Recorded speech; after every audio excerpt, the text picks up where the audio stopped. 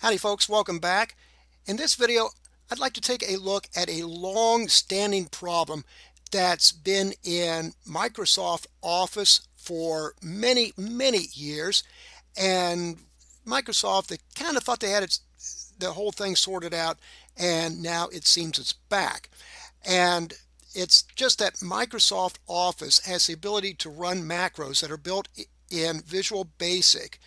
And long, long time ago, way back in the 90s, this problem first surfaced where people would build malicious Visual Basic macros, attach them to a Microsoft document, and email them out. And then these uh, these macros then would automatically activate as soon as a person opened the email, and it would do all kinds of, of damage. It could do well pretty, lots of different things, you know, from destroying a person's hard drive to uh, just getting into a person's email uh, address book and, you know, sending other messages on out, you know, to everybody else or spreading viruses, what, whatever, right? So it was a big, big, big problem. And I actually encountered this problem even just about, uh, it was 12 years ago when I first started working as an office clerk in a shop that was running Windows 2000 desktop machines and was running uh, Microsoft Office version 2007. So we had all kinds of problems back then, and it was not, it, it didn't really help any that we had an IT department that was pretty much worthless. They had no concept of security. And so it was up to his office clerks, you know, the few of us who were computer literate to, to have to keep things going basically and, and on the, the desktop computers. But uh, so I, I saw a lot of computers get infected during that time and uh, I helped clean a lot of them up, you know, for my fellow office clerks. But uh, anyway, uh, here at the theregister.co.uk, panic like it's 1999, Microsoft Office macro viruses are back. And so, and we go down here, it tells you a little bit about the history of these different macro viruses. And it does say that we do have some security improvements in the Microsoft Office products that have blocked a lot of these different attacks and propelling macroviruses toward extinction in the process. But down here, here's the bad part.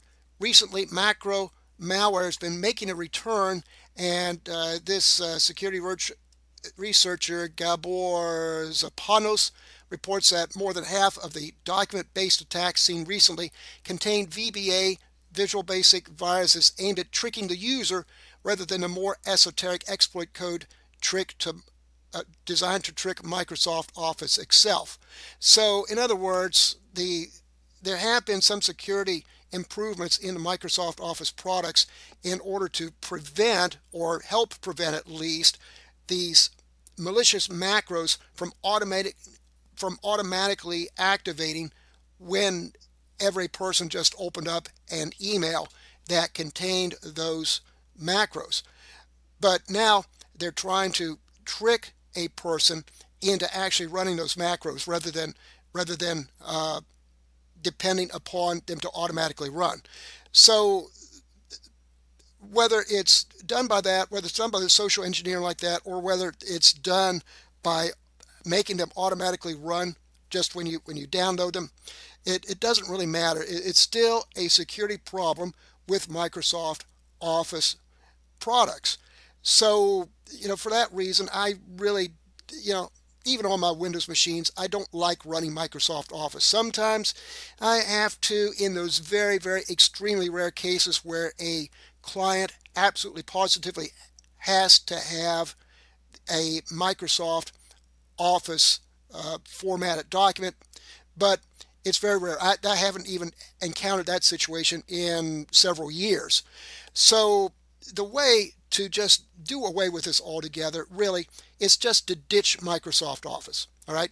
And if you absolutely positively will never have to exchange documents with somebody that requires strict compliance to the Microsoft uh, format, then you can you do have a lot of different uh, options. You've got uh, several different free open source office suites that you can download and install and just completely replace Microsoft Office. And the most famous of these is LibreOffice. And LibreOffice is a descendant, actually a fork of the old OpenOffice. OpenOffice uh, has had quite a history and uh, it, uh, until a few years ago, was owned by Sun Microsystems, which got bought up by Oracle, and Oracle is not really into uh, into maintaining open source pro projects. So they basically abandoned the project and then just finally just turned the whole thing over to the Apache Foundation. And uh, but by that time, a, the, their core developers had already departed and forked off into LibreOffice. But LibreOffice, absolutely fantastic office suite. And uh, even if you don't want to or can't abandon your Windows desktop machines, there is a version for Windows. So you can get it. You can get this for Windows, Mac, or Linux. And uh, there, and I said before, you know, about the, the problem with interoperability or or, or with uh, uh, interchanging documents between people who use Microsoft Office. Well, actually, you can do that uh, for the most part. It's just really just uh, the esoteric stuff like the esoteric spreadsheets, uh, some of the more esoteric uh, uh, maybe uh, slideshows, you know, PowerPoint presentations, all that.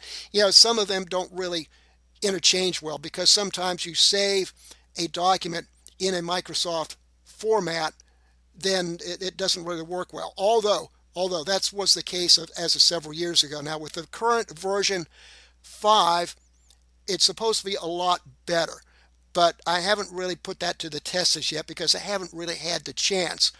But uh, but but I do uh, I do belong to a club, an antique radio collectors club, and I do type up my minutes in uh, LibreOffice, and uh, I'd save them in a in the Microsoft dot doc format, and uh, I send them out, and you know people can read them fine. Uh, so uh, yeah, I mean it's it's really really great, really fantastic, and it, once you get used to it, once you download it and install it and open it up, you're going to find that you'll probably like the interface a lot better. It does not have that stupid ribbon interface that Microsoft Office has. It just has a nice plain interface the way Microsoft Office used to have. And so I think you'll find it a lot easier to navigate and it, it is uh, pretty much bulletproof. It is, uh, I mean, it's under constant development and I've not really encountered any real show stopping bugs in it or anything like that. So yeah, it's really, really great. So I would encourage you, if you want to avoid the problems of Microsoft Office macro viruses, definitely give LibreOffice a try and see if it suits your needs. So I think that's pretty much it. I thank you for watching. If you like my videos, go ahead and like and subscribe. I would appreciate it greatly, especially if you watch your videos without an ad blocker. But anyway, that's it for now. I'll catch you later.